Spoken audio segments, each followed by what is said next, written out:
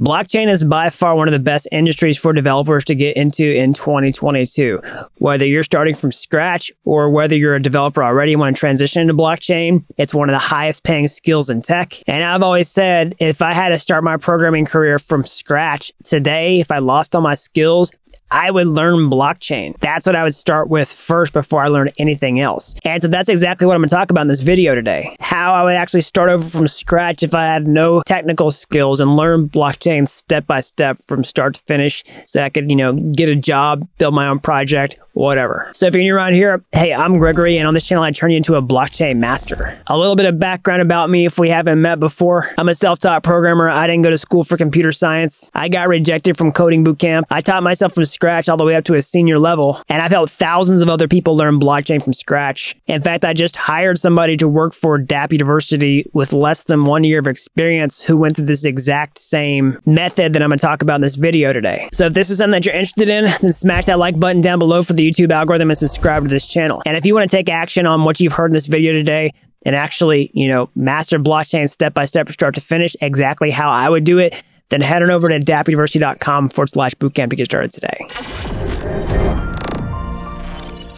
All right, so let's get into this. Let's talk about how I would learn blockchain from scratch if I had to start all over again. Just to expand about my background a little bit more, you know, I was already a developer already before I got into blockchain. I was a full stack web developer, okay? But if I had to start over again, I wouldn't do that. I wouldn't go become like a full stack developer and then get into blockchain. And that's point number one that I want to make is if you want to learn blockchain and start over from square one, just like I would do it, I would start with blockchain first before you go learn something else. This is one of the most common questions I get all the time is, you know, should you learn blockchain first or should you go learn a bunch of other programming languages? I understand this. I have had this common misconception too, but I'm going to tell you from my own personal experience of going through this process and then also helping other people cut the learning curve and get into this industry faster, that you should fight the temptation to go learn a bunch of other coding languages before you focus on blockchain specific skills. They think for some reason that blockchain is just too hard and that you need these other fundamentals to start. No, there's so many programming fundamentals that you can gain while you're studying blockchain itself. They think that you need to master some other thing to learn blockchain by that analogy. You don't have to do that. You can go straight for the throat and learn blockchain. That's actually what I recommend. So how do you do that? Okay. Well, before I tell you that, I want to tell you one more point is when you are learning blockchain, this will fit into the second point um, and you're doing that first, you're actually going to have context for what you're learning. You have a goal and a purpose in mind that this is going to help me learn blockchain. And then every concept that you're introduced to along the way is going to click way better. So, like, one of the most common things I ever heard going to school growing up was like, when am I ever going to use this? When you're like sitting in a classroom and you're learning a bunch of stuff in abstract and you don't see the reason why you're learning it. That's exactly what's going to happen if you go try to just learn a bunch of programming languages and then go try to learn blockchain specific skills is you don't see how they click to blockchain. But if you learn programming languages for blockchain, for the goal learning blockchain, and then learn everything else as you go after that, you're going to learn way faster. It's more efficient. So how do you do this? Well, you focus on the primary skill first, which in my opinion, the best skill to focus on is to, to create smart contracts with the Solidity programming language. Why? Because you're going to learn a programming language that's pretty beginner friendly. All right. You can go to multiple blockchain environments like Ethereum, any EVM compatible chain, Binance Smart Chain, Polygon. You know, it doesn't really matter. There's so many out there. And if you just learn to do that, you're already going to have an insanely lucrative skill on how to create smart contracts and become a smart contract developer. Now, you could just stop there and say that's all you're going to do. But you, you can then use that foundation to go build other skills on top of it, like front end development. And you learn front end development for the purpose of communicating to smart contracts. But when you learn to create smart contracts, you learned how blockchain worked, you learned a programming language for blockchain.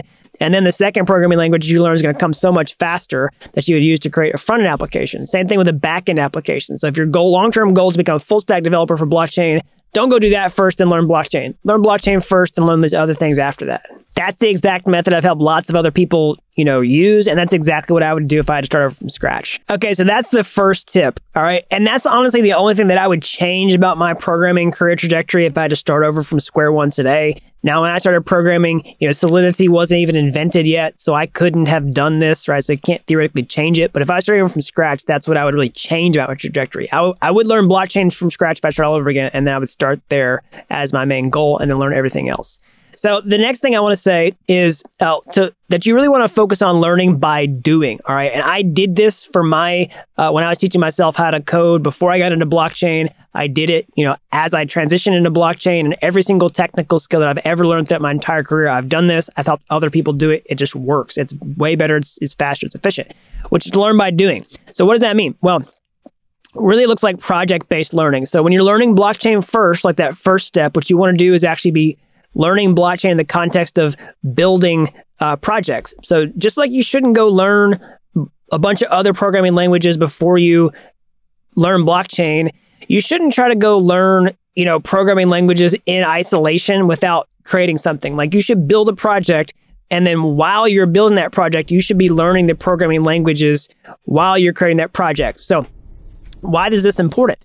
Um, well, basically, it's going to give you context to what you're learning. It's like I was saying before. How many times do you ever hear the, the people say, "When am I ever going to use this?" Well, you never ask that question when you're building projects and you're getting introduced to concepts along the way.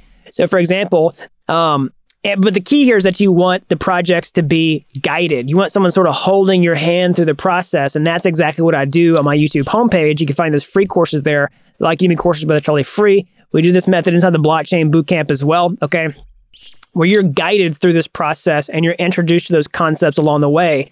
So, like, you might know to, you might not even know anything about the programming language when you start, but you might say, okay, in this in this lesson, we're going to learn to create, you know, uh, uh, a token, right, a cryptocurrency. And so, what do you need to know to do that? Well, you might need to set something up on your computer in order to create that token. So you're going to learn about how to use a command line because you have to learn to use a command line to accomplish that purpose. And whenever you finish that, you know, you might not be a command line expert, but you've learned enough to accomplish that task. Okay. And you can use that as fundamentals that you can learn other things. And that's going to give you so much more functional knowledge than if I just handed you a book on command line and said, learn this. You're not going to know what, what it's even used for. Okay. So then when you go create a project, you need to learn how a framework works. You need to understand that to create a token, that you need to create a smart contract out of Solidity. And then what uh, aspects of the programming language do you use inside that when you're creating that, you know, you're going to learn the most important parts of the programming language because just like a human language, there, there's all these different aspects of a programming language, but only a small percentage of them get used over and over and over and over and over again. And a small percentage of the programming language accounts for most of the day to day use cases, which is what you really want to get, what you really want to master as a beginner.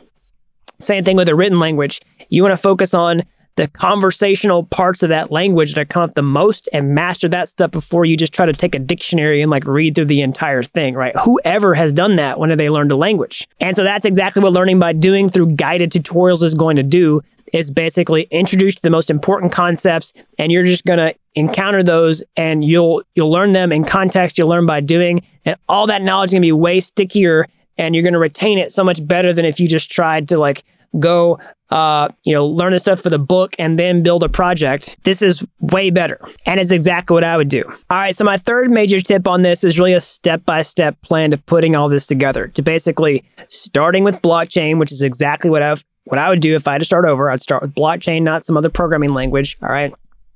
And then learning by doing, like doing project-based learning. That's exactly what I would do.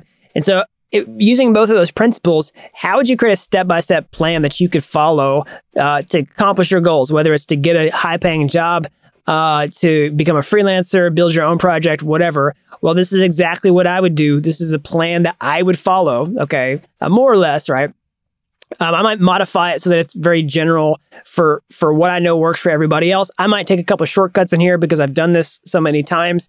But this is a good general plan that I think everybody can follow. And I outline this plan more in depth on the video that's pinned to my YouTube homepage, how to become a highly paid blockchain developer in 2022. So you can see that more in depth, but I'll provide a summary here. Basically start off with a uh, project, right? A, a, tutorial that's kind of a lightweight tutorial that just gets your feet wet, introduces you to all the concepts, programming languages, a really simple like website, how to write tests, how to write scripts, um, how to, you know, do really basic stuff just on your computer. Okay. And so you can go to my YouTube homepage and find any of those free courses there. They show you how to do this. They're, they're designed, you know, more for beginner purposes to get you introduced to the concepts. All right. And kind of a sandbox environment and to build kind of like a toy tutorial level application. And then so the next thing that I would teach you or what I would do is to go build more of a professional level project in a guided way. So that's exactly like what we teach you how to do inside the blockchain bootcamp is move from like tutorials that are more or less like you know, tutorial projects towards like a real project like that'd be the same complexity level that you might be asked to build at a job. Now, truth be told, it's hard to really replicate exactly what you would be doing in a job situation because everybody's situation is different, but this would be pretty close, okay? It'd be good practice. So that's going to teach you how, it's going to hold your hand to show you how to create something like that from that high of a technical complexity, all right? Go through that. And then here's what I would do. I would continue on with this track of learning by doing to develop the real functional skill of being a developer. Now, I'll tell you the, the honest truth, which is it's almost impossible to synthesize what it's like to work in the real world, but you have to try and you have to get close. So, the best way to do that is to uh, gain experience on your own, uh, trying to solve problems with code where you don't have somebody holding your hand on how to do that. The easiest way to do this is to take like uh, a professional of a project that you've gone through, you know, this guided process, and then actually uh, talk about here's what you need to do in order to build the next step or think of something that you want to add to it. All right. Maybe you just want to add new features. Let's say you build like a cryptocurrency exchange, for example. And with that cryptocurrency exchange, you want it to you know support a bunch of new cryptocurrencies, or you want it to have a new user interface, whatever it is. You want to figure out how do I make this happen with code, and then you actually write the code to do it without somebody showing you what the answer is. That's how you develop a really functional skill. And when you go through that process, you are going to run into walls you're not going to know how to do something, but you're going to be on that same path that all developers are on whenever they are professionals, which is the path of self learning. And how do you get good at walking on that path? Well, you learn how to be resourceful. So you learn how to get on Google and look up the answer. You look and how to use Stack Overflow. You know how to get in GitHub. You know, uh, uh, discussions, you know how to find people on Telegram, Discord groups, whatever it is to find answers to your problems. You have to learn to be resourceful. And if you learn that skill now, you're going to be way more valuable in the workplace and you're going to be doing what other developers already do. And now once you've done this step, uh, you're ready to basically you know take that finished product and then use it for a portfolio to start applying for jobs okay? That's going to help them show what you can actually do all right? And then honestly you're probably ready you know depending on what your employer says they might you know hire you but the best thing to do is apply for as many places as possible um, because you're going to increase the likelihood that you would actually get hired in that case. But here you're also at a spot where if you want to solidify the fundamentals of certain programming languages now is a good time to do that. All right. So at the top of this video, um, and this is what I would personally do. Okay. The top video, I talked about how you should learn blockchain first. You shouldn't go try to learn a bunch of other programming languages first. You should learn them in the context of blockchain. But once you've developed a solid base, a solid foundation, um, now actually would be a good time to start focusing on the long tail um, part of those programming languages that you ultimately need in order to develop a long term value in the workplace to become more of an expert level developer in whatever your niche is. You just don't want to start with that because you're not going to be able to do it when you start from scratch.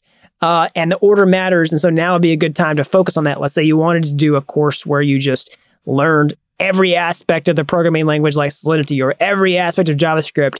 You, you, all that stuff's going to click way more once you've built a bunch of stuff you know, for real. All right, so that's an overview on exactly how I would learn blockchain if I had to start over from square one. Again, if I just lost all my programming skills and had to start over today and wanted a step by step path and some principles to follow when I was learning blockchain, that's exactly what I would do. That's what I exactly recommend other people to do. That's what I've already helped other people do and hope you found a lot of value out of this video. So if you want to take action on this video, you know, what can you do? You can, of course, smash that like button down below, subscribe to this channel. That really helps these videos out so the more people learn about blockchain. And um, if you want to start today, go to my YouTube homepage, find those free courses there. They're like Udemy courses, but they're totally free. And if you like those videos and you want to take the next step, or hey, you know, maybe you want to take a master shortcut entirely, I can show you become a blockchain master from step by step, start to finish over at dappuniversity.com forward slash bootcamp. You'll learn by doing, you'll create a professional level project, and you don't have to be an expert to get started today. I've helped people with zero coding experience become real world blockchain developers in a matter of months. So that's all I've got. And until next time, thanks for watching Dapp University.